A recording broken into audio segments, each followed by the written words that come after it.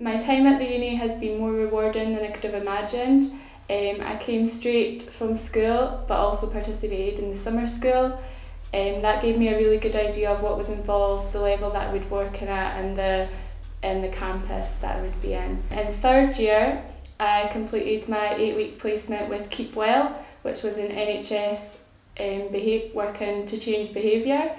My fourth year honours project involved working with the council and the NHS. I worked with Chris and Joe looking at the project of food and physical literacy.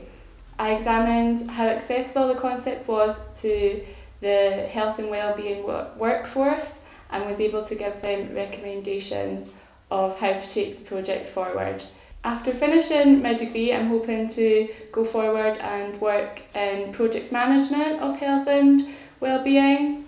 As part of my research, I took focus groups with health and wellbeing professionals. These came from a range of services such as the NHS, council and third sector organisations. We hosted four focus groups in each of the localities in Dumfries and Galloway and this gave us a good idea of the different opinions from both more rural areas and the urban areas. So I've worked with uh, students from the Health and Social Policy course, both in terms of placement, which is eight weeks in length, and also uh, for final year dissertation students as well. So in terms of the placements, uh, we, we hosted one earlier this year, uh, one of the key things that we were looking to, to emphasise was giving the student a real life experience of public health, to give them the responsibility to take forward pieces of work that actually complement the strategic priorities of, of the department. So we worked with the student to actually uh, begin to have those conversations with head teachers and, and school communities to again look to develop recommendations to take back to our education team, our, our wider partners to begin to consider actually is this a concept that's right for Dumfries and Galloway? Is it right for our schools? And if it is, what are the barriers and how do we remove them? So it's about actually generating real world, real life evidence uh, to actually make physical activity part of everyday life. As part of the university process, we've done various placements with the NHS, third sector organisations, councils, just to give us experience with our learning process. As part of my third year, I did a placement with NHS Dumfries and Galloway out west in Wigtownshire, working as part of the social prescribing team in Newton Stewart.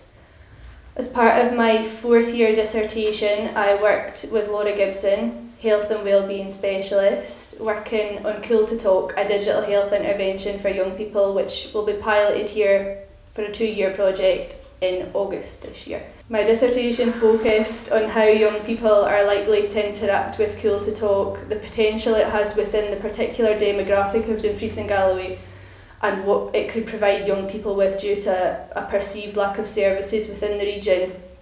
Doing the placement, the various placements that we've had, has given us valuable experience as it's allowing us to utilise everything that we've learned going through university and putting theories to use. It's been very valuable. It's helped us to make a lot of new contacts with people that we would never have known to contact about things before. It's helped us with what we can put on a CV and just general experience of the area in which we like to work. Um, myself in particular, I'm hoping to work in health promotion or health improvement within the NHS. Also, entering the council's graduate scheme working on a variety of projects for a period of eight months. Most recently, the students that have been on place with me have been fourth year honours year students and they've been working with me on their dissertations. To give you a bit more detail of that, two of the students were working with me around digital health and wellbeing interventions for young people. Now this came about because we are really interested at looking at the modern concepts of how we provide health information to young people online because we know that young people are digital natives, but also because we want to look at implementing a digital health and wellbeing intervention for young people here in Dumfries and Galloway. We wanted to go out and do some research with young people to find out what they wanted out of a health and wellbeing intervention. Now we were really excited when the two students approached us through the Glasgow University liaisons and had an interest in young people's health and wellbeing. So we were able to work with them to draw up a concept of what their dissertation might look like. So the benefits for the students were that they were able to engage with us as healthcare professionals. Um, we, we have got lots of experience around planning for interventions around health and well-being, around looking at young people's health and well-being in general.